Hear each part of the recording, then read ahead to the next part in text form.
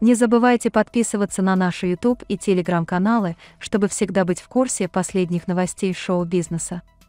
Ссылки в описании. Приятного просмотра!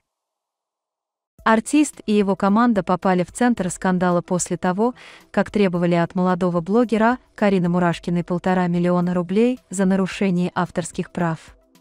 Блогер была забанена за использование фразы «выпьем за любовь» без разрешения Николаева. Карина утверждает, что композитор должен был бы благодарен за популяризацию его творчества, а не искать повод для конфликта. Адвокат рассказала, что Николаев зарегистрировал фразу как товарный знак после того, как девушка начала продавать носки с этой надписью. Адвокат обвинила команду Николаева в нечестности и свинстве, заставляя Карину платить за использование фразы до регистрации товарного знака. Она предложила скинуться на носки, чтобы утешить пострадавшее самолюбие композитора. Команда Николаева требовала деньги за 100 штук носков, проданных ею, с фразой «Выпьем за любовь». Заявку на регистрацию товарного знака подали позже, и его команда не имела права требовать деньги.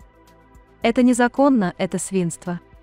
Ей писали «Карина, гони бабки за проданные носки, иначе не вернем тебе канал». Николаев, который создает образ добрячка, на мой взгляд, нечестно пытается заработать на блогерах, которая популяризирует его творчество, негодует адвокат.